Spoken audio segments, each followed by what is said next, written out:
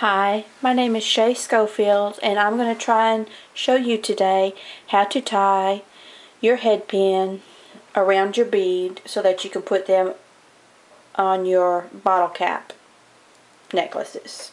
So I'm going to get started today by showing you the tools that I'm using. Um, the first one is your round nose pliers. I've got my cutters to cut the head pin.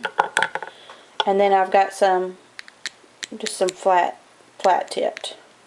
Okay, I'm going to start with my, my bead here. I've already put it on my head pin. I, these little silver beads are a 3.2 millimeter.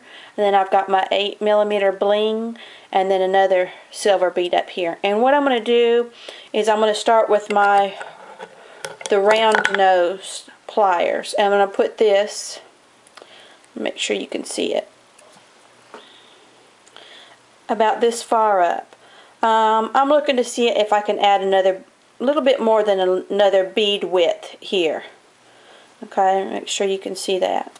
And what I'm going to do is I've got my pliers turned sideways, going this way. And what I'm going to do is I'm just going to turn my hand so that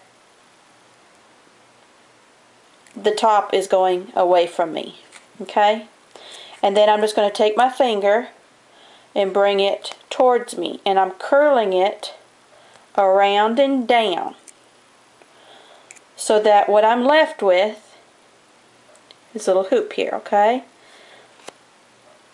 Now I'm going to take the pliers out and I'm going to stick it back in. I'm going to stick it right through that hoop okay? I'm going to fold it all the way away from me okay? And then I'm just going to start wrapping it around this way okay? Three times. Keeping it. See if you can see that. Keeping it even okay? Don't let it point down or up. And then just wrapping it around. Hold tight close so that it gets wrapped around. See if you can see that. It might look a little bit blurry just keep wrapping it around, keeping it horizontal until you get you get three. Let me see. My camera's doing this a little bit blurry here. Let me see if I can get it. know if you can see that or not. Then what I'm going to do is just clip this extra off with my cutters.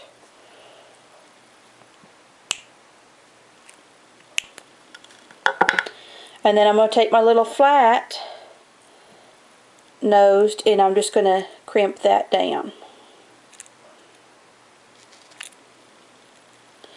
Push the end down so that it's not sticking out. And then I can kind of adjust this up top and get it the way that I want it. And there you have it. It's done and it's ready to put on. Takes a little practice but I think it looks very nice. Thanks for watching.